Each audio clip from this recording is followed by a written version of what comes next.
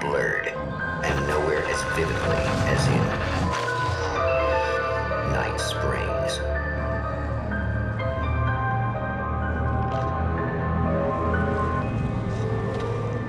The man before you is a champion of light. He is part of a conflict between darkness and light that is both ancient and eternal.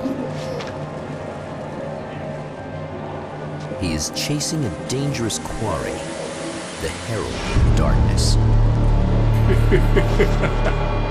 His evil doppelganger, known only as Mr. Scratch.